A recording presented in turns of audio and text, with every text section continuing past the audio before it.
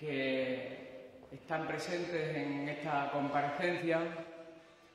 Quiero expresarle mi consideración más absoluta en estos momentos de tanta dificultad y de tanta dureza. Sus testigos directos de la pandemia que nos asola y como testigo directo viví situaciones de mucha dificultad, de mucha dureza y por lo tanto quiero expresar mi consideración por la importancia vital que están teniendo los medios de comunicación en toda esta crisis para también ayudar a los ciudadanos a, comprender y fundamentalmente a llevar de mejor forma eh, lo que ha supuesto un largo confinamiento y posteriormente la desescalada, una desescalada que siempre debe ser ordenada. Espero y deseo que en sus ámbitos familiares y de amigos más próximos no haya eh, surgido la tragedia, la tragedia que, esta crisis ha llevado a muchas familias y que me toca, como no puede ser de otra forma, recordar. Recordar a esas personas fallecidas como consecuencia del coronavirus, eh, personas que han dejado rotas a, sus familias porque a la dureza de un fallecimiento en esta pandemia se une la soledad con la que se, se, han tenido que oficiar esos enterramientos para la familia. Por lo tanto, mi apoyo, mi cariño, mi afecto y el de toda la corporación municipal. Permitirme que exprese un agradecimiento también inmenso a los portavoces, eh, a los miembros de los grupos políticos que me acompañan en esta comparecencia.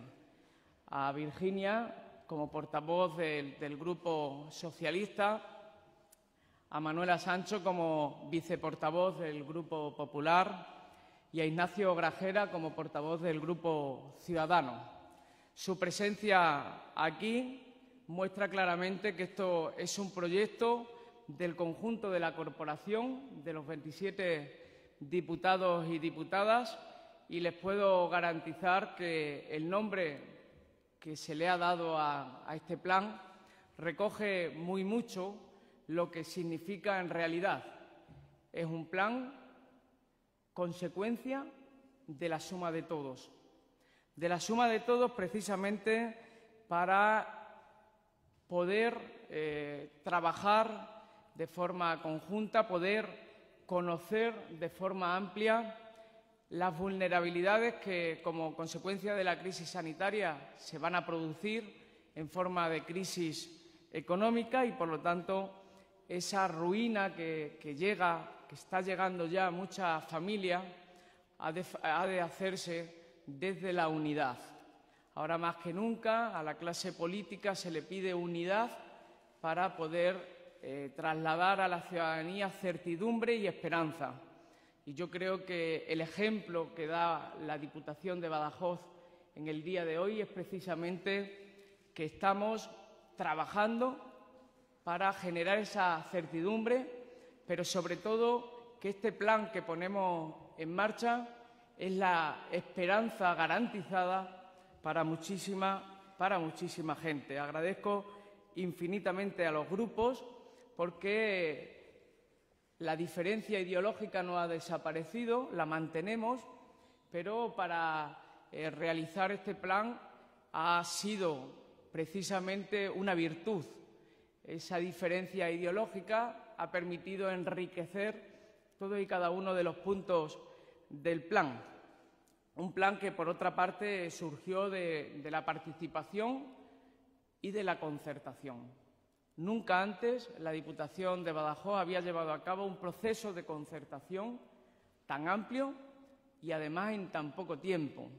Concertación con las organizaciones de autónomos, concertación con la patronal, concertación, en definitiva, con todo y cada uno de los sectores afectados por el COVID-19 que, a través del cuestionario entre todos, han plasmado cuáles son sus necesidades y por dónde deberíamos trabajar para poder paliar alguna de esas necesidades.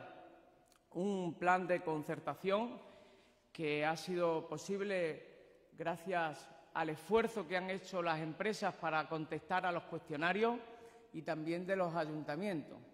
No olvidemos que han sido casi mil empresas las que han trabajado en esa, eh, en esa encuesta, que han participado, que en definitiva han realizado 995 concretamente y el 74% de los ayuntamientos. Por lo tanto, lo que hemos plasmado en el plan no solamente es el trabajo de horas eh, en juntas de portavoces de los grupos políticos, sino también y fundamentalmente la concertación y la participación que han sido fundamentalmente la clave para llegar aquí.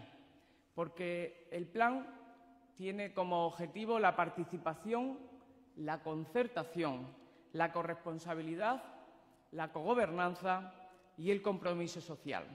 Creo que la fuerza de una lucha para no dejar a nadie atrás en esta crisis económica y social que viene con dureza eh, precisamente por la crisis sanitaria es precisamente esos elementos que he planteado, la participación, la corresponsabilidad, la concertación, la cogobernanza y el compromiso social. Desde la Diputación de Badajoz queremos contribuir firmemente a la reconstrucción de Extremadura.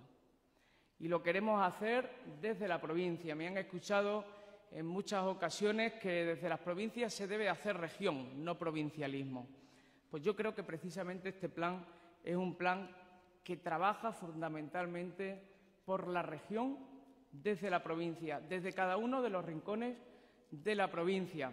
Sabéis que esta pandemia ha hecho eh, inválidos, ha invalidado los presupuestos de todos los gobiernos, sean municipales, autonómicos, provinciales, o nacionales. Lo ha destrozado, los presupuestos y los objetivos. Teníamos unos objetivos marcados que no se pueden cumplir porque debemos ir en estos momentos a la urgencia de rescatar a empresas, de rescatar, en definitiva, a familias y a personas. Y en ese rescate es cómo se reconfigura el presupuesto provincial. Un presupuesto que sabéis que se hizo para un crecimiento del país de en torno al 2% y que se va a enfrentar a una recesión del 9% en, los estudios, digamos, más, eh, eh, más benévolos y de un 13, en torno a un 13% en los estudios más duros. Bueno, pues frente a ese escenario nuevo, ese escenario distinto, ese escenario diferente, hemos planteado una respuesta concertada, una respuesta de conjunto, una respuesta que suma voluntades, una respuesta, en definitiva, que sumando voluntades, esfuerzo, capacidades, tesón y, eh, y una firme creencia en el municipalismo nos va a ayudar, sin lugar a dudas, nos va a ayudar a esa reactivación social y económica de Extremadura. Le decía que el, proyecto o el plan que hoy se presenta, Diputación Suma, es eh, la configuración de muchas voluntades. La primera, la, del equipo directivo de esta casa, que solidariamente han hecho un esfuerzo por eh, ver en todas y cada una de sus áreas, partida a partida, para que pudiéramos conformar el plan, sin romper, sin romper el normal funcionamiento de la Diputación de Badajoz, sin eliminar programas que para nosotros son esenciales porque afectan a la vida de la gente. Bueno, pues todos y cada uno de ellos han hecho un esfuerzo enorme y yo se lo quiero agradecer. También quiero agradecer el esfuerzo ímprobo y la agilidad que por parte del director de presidencia, de Julián Expósito, se ha tenido para coordinar todas y cada una de esas partidas. Desde la corresponsabilidad, por primera vez, como decía, eh, desde la corresponsabilidad también, perdón, este plan, por primera vez, por primera vez, asume no solamente el esfuerzo de la Diputación, sino la corresponsabilidad de los ayuntamientos. Un plan que tiene 30 millones de euros en tres ejes fundamentales, pero que uno destaca de forma sobremanera, el, el que está dirigido a los ayuntamientos destaca de forma importante con 27 millones de euros. 27 millones de euros que, como decía, son el resultado de 20 millones de euros que aporta la Diputación, más 7 que son fruto de esa corresponsabilidad de los ayuntamientos. El objetivo no es otro que eh, todo el mundo local de la provincia, todo, sin excepción, vaya en la misma dirección y tenga el mejor y el mismo objetivo, que no es otro que sumar para derrotar la crisis. Por eso quiero agradecer también a los ayuntamientos en ese esfuerzo de corresponsabilidad nuevo y distinto que esta casa hace y que tiene como objetivo, como decía, que todos se sientan compartícipes de las políticas. Decía que son 27 millones que pretenden impulsar la economía provincial, paliar la situación de las empresas y ayudar a que ninguna familia se quede atrás. Un plan de 27 millones cuyo 40% tendrá que ir destinado como mínimo a obras de infraestructuras, edificación y rehabilitación, no por capricho, sino porque hemos entendido que la edificación y la rehabilitación no solamente afecta a la construcción, sino que ayuda a otros subsectores también, como el de la carpintería, el de la pintura, el de la electricidad, eh, en definitiva, abarca mucho mayor número de sus sectores y, por lo tanto, va a impactar de forma más importante en el empleo. Un 20% ha de ir destinado a empleo nuevo. Entendemos que en estos momentos hay muchas familias que, como consecuencia de la crisis, van a estar al borde de la vulnerabilidad y debemos rescatarles, debemos protegerlos y por eso se implementa un mínimo del 20%. El 40% restante queda en función de las necesidades de cada ayuntamiento. Cada territorio de nuestra provincia es distinto, no somos homogéneos, somos diferentes dentro de un proyecto común y por eso tiene que haber distintas líneas donde poder trabajar, sea en el ámbito de los servicios sociales, sea en el ámbito de la tecnología, sea en cualquiera de los ámbitos que desde eh, el, ayuntamiento y la comarca entiendan que es lo más importante para ello. Es un plan que no deja de lado a nadie, a los grandes municipios tampoco. Entendemos que los grandes municipios son muy solidarios también con el municipalismo en el ámbito rural, porque parte de, sus habitantes, o mejor dicho, sus habitantes conforman parte del presupuesto provincial y por eso queremos que también formen parte del mismo. Lógicamente, con principios de solidaridad para que precisamente el mundo rural no quede sin recursos. Por eso cada ayuntamiento de, de más de 20.000 habitantes tendrá una aportación global de un millón de euros de la Diputación de Badajoz que irá acompañada de una tasa de corresponsabilidad del 100% en el caso de Badajoz, de tal forma que conformarán dos millones de euros para este plan, del 80%, es decir, 800.000 euros en el caso de Mérida, como población entre 100 y 50.000 habitantes, y para el caso de las tres poblaciones de Don Benito, Almendralejo y Villanueva de la Serena, del, 60%, lo que representan 600.000 euros cada una de ellas. El resto, eh, los 15 millones restantes, irán destinados al mundo rural y sus créditos se harán en función de los habitantes con una tasa de corresponsabilidad también, eh, pero con discriminación positiva. A mayor número de habitantes, mayor tasa de responsabilidad o corresponsabilidad con un 40% máximo. A menor habitante, una menor tasa de corresponsabilidad, es decir, un 10%. Yo quiero, de verdad, eh, hacer énfasis en que los ayuntamientos se sientan más partícipes que nunca de este plan.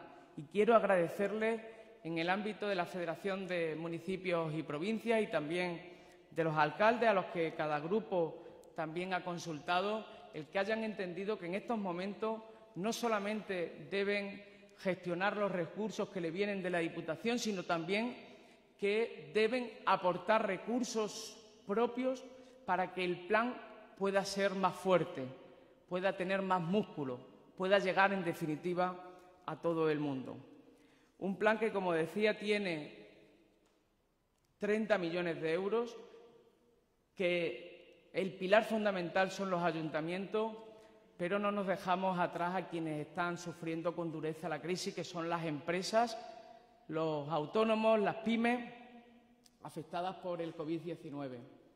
Se destinan tres millones de euros para ayudas directas en dos convocatorias que saldrán, eh, diferenciadas de un millón y medio cada una de ellas, un millón de euros, un millón y medio de euros para la adaptación de locales para dar seguridad frente al COVID, para que seamos también un destino no solamente turístico, sino de convivencia seguro, un espacio, en definitiva, que sea libre de COVID, bueno, pues se destina un millón y medio para que las empresas puedan readaptar sus espacios, sus locales, sus empresas y dar seguridad. Y otro millón y medio se destina al estímulo turístico en forma de bonos.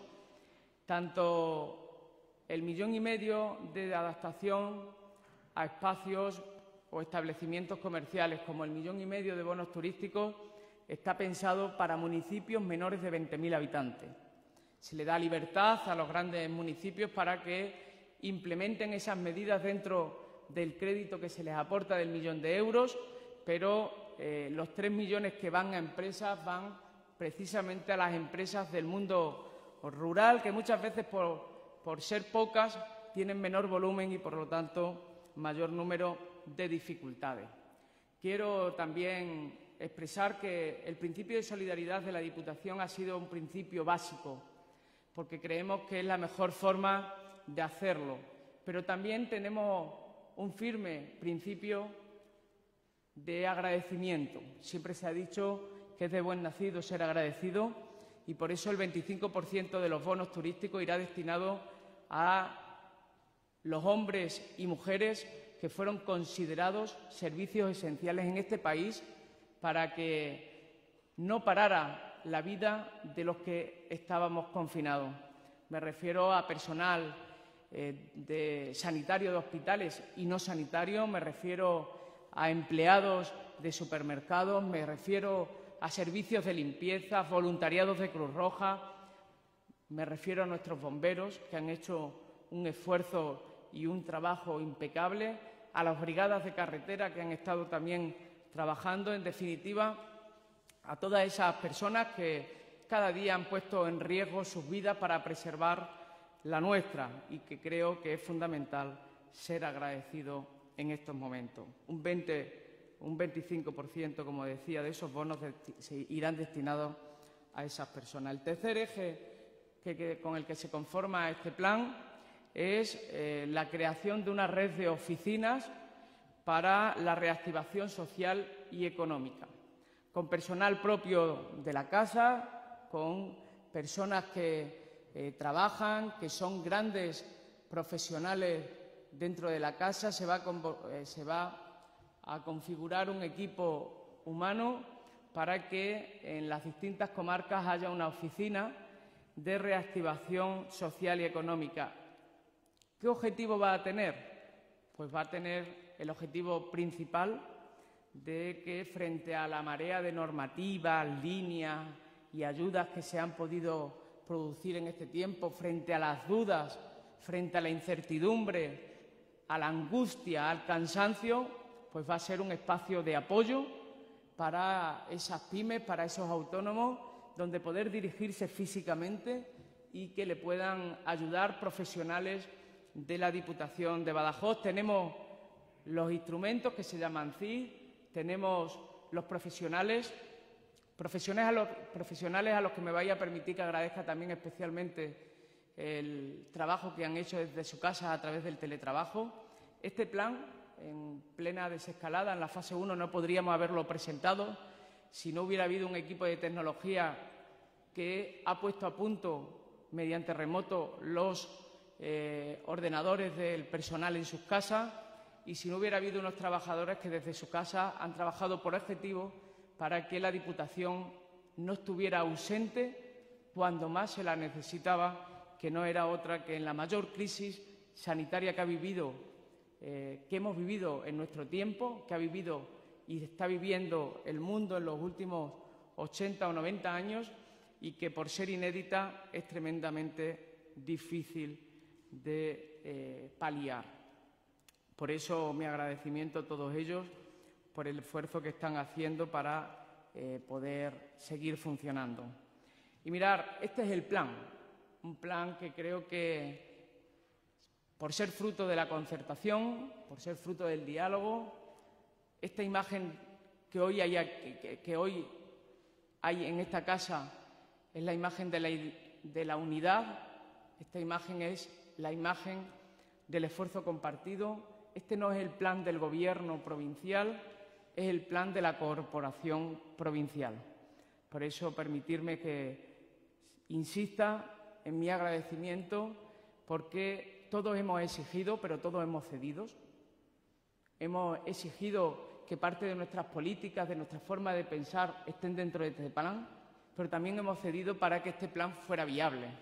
Y eso solo se, se consigue desde eh, la exigencia, la cesión y fundamentalmente la predisposición. Y esa predisposición ha existido y yo la quiero agradecer públicamente. Decía que son 30 millones de euros los que a partir del día 5, cuando se aprueben en el Pleno, empezarán la tramitación eh, y a partir de ahí entendemos que sobre finales de junio podrían estar los créditos en los ayuntamientos y con ello iniciar eh, el plan al mismo tiempo que se preparan esas convocatorias para las empresas, pero no nos paramos aquí. Este plan de 30 millones de euros está acompañado de un plan provincial de infraestructuras, que son las que estaban en créditos que hemos denominado esenciales y que es fundamental para que la provincia también tenga obras de carácter mayor, para que el tejido productivo en el ámbito de las empresas no se pare, porque tenemos en Extremadura, por suerte, eh, un tejido productivo que se ha ido haciendo a lo largo de muchos años, que sufrió mucho con la crisis del año 2008, que se ha rehecho en parte a lo largo de todo este tiempo y que no podemos dejar caer. Por eso, eso este plan irá acompañado de 19,5 millones de euros adicionales del Plan Provincial de Infraestructura que están fundamentalmente en infraestructuras de carreteras, de edificación y de rehabilitación de, los propios edificios de la casa y también del plan de Pura, que, como sabéis, cuenta con un millón y medio de eh, créditos en el año 2020 y que vamos a poner en marcha en los próximos meses con agilidad, sin que el tiempo se pare un minuto, porque entendemos que es fundamental ser ágiles Hemos preparado, hemos engrasado la maquinaria a lo largo de todo este tiempo de confinamiento para que eh, contratación pueda agilizar los trámites en cuanto se normalice la situación de, eh, lo que tiene que ver con la suspensión de los plazos administrativos.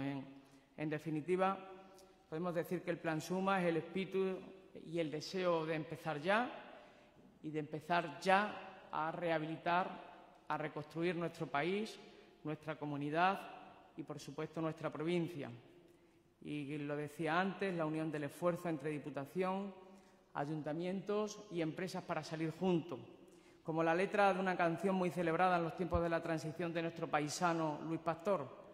Con tu quiero y mi puedo, vamos juntos, compañeros, pues con vuestro quiero y nuestro puedo, vamos a trabajar juntos precisamente para lograr salir de esta crisis económica que se nos avecina.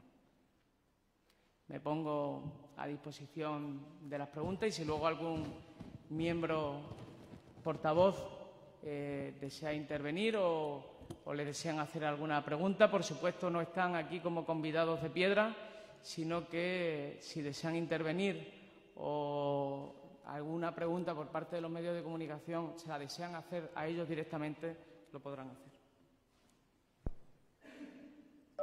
Vale, compañeros, pues se abre el turno de, preguntas.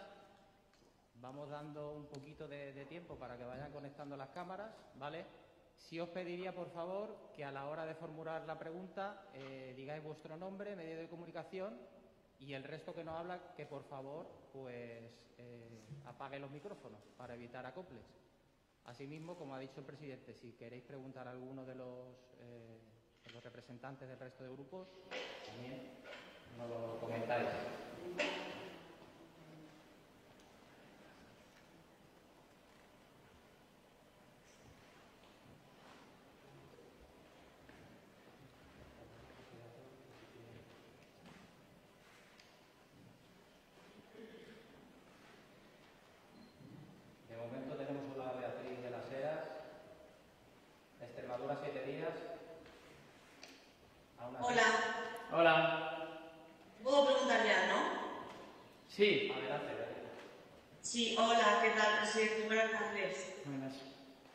Bueno, eh, de un plan muy ambicioso en el que, bueno, no, no falta nadie porque veo que hay autónomos, pymes, ayuntamientos y personas, hablamos sobre todo de, de esas personas, pero me gustaría saber que me gustaría que concretara, como ha dicho la presidenta, eh, estarían los créditos en los ayuntamientos pues, para pymes, autónomos, no porque por lo menos no lo he escuchado.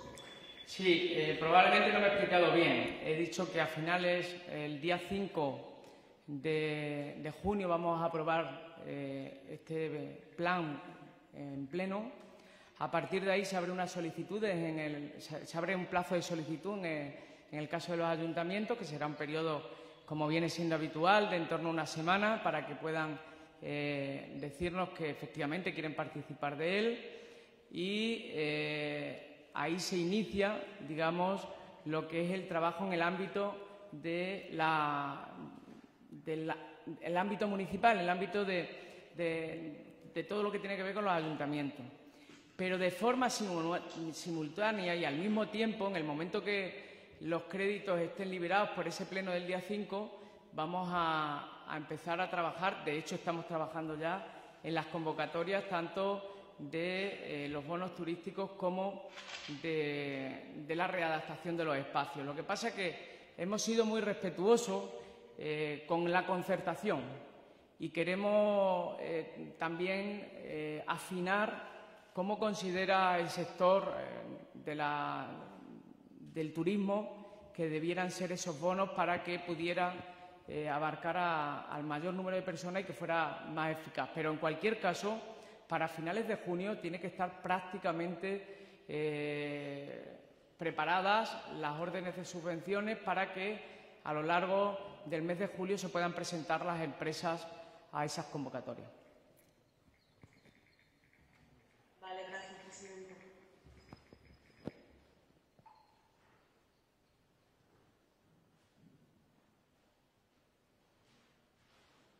A ver, Rocío Romero del diario Hoy tiene problemas con la, cámara, pero me, hace la siguiente cuestión. Entiendo que el presupuesto se reorganiza. ¿Qué se deja de hacer o de dónde proceden los 26 millones que aporta la Diputación de Badajoz?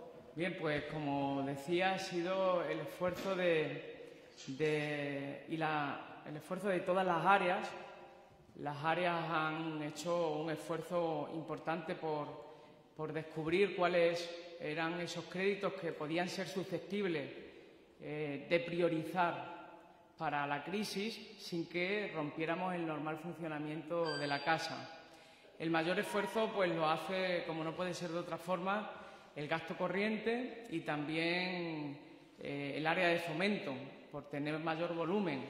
No es que dejamos de hacer infraestructuras, pero algunas infraestructuras se aplazan. ¿Por qué? Pues porque el tiempo en el que eh, se mantiene en vigor el estado de alarma nos impide sacar obra pública, con lo cual, eh, cuando queramos sacar obra pública, que es al final del estado de alarma, hay que ponerle en torno a cuatro meses para eh, que las obras estén adjudicadas. Por lo tanto, imposible de gastar los créditos que se habían previsto para el año 2020. De ahí ha salido gran parte del esfuerzo de este plan, pero insisto, todas y cada una de ellas han participado de alguna u otra forma. Aquellas que son más humildes desde el punto de vista de los créditos, pues lógicamente han aportado menos, pero todas han aportado y fundamentalmente los créditos han salido del gasto corriente y de también fomento.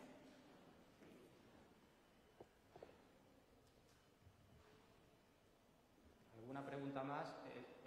Comento a los compañeros que a lo mejor tengan problemas que pueden hacer como ha hecho Rocío, como habíamos comentado, mandar la, pregunta a través de WhatsApp y la hacemos desde aquí. Porque vemos que está Roberto López de EFE, Juan Antonio Ruiz de la cadena SER, estaba Lourdes de Europa Press.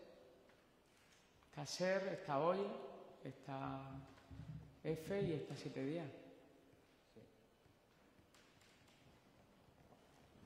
Es verdad que el sistema de videoconferencia limita un poco probablemente las ansias de preguntar, pero insisto, ¿queréis intervenir algún... ¿No?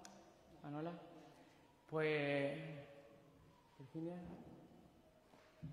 Si no hay ninguna otra pregunta, como entiendo las dificultades que existen, si tuvieran alguna duda, háganosla llegar, por favor, por escrito, porque a lo largo del día de hoy sería respondida por mí. Así que nada más, muchas gracias, buen día y que entre todos seamos capaces de derrotar al virus, que es el mayor enemigo y el único enemigo que tenemos en estos momentos. Muchas gracias.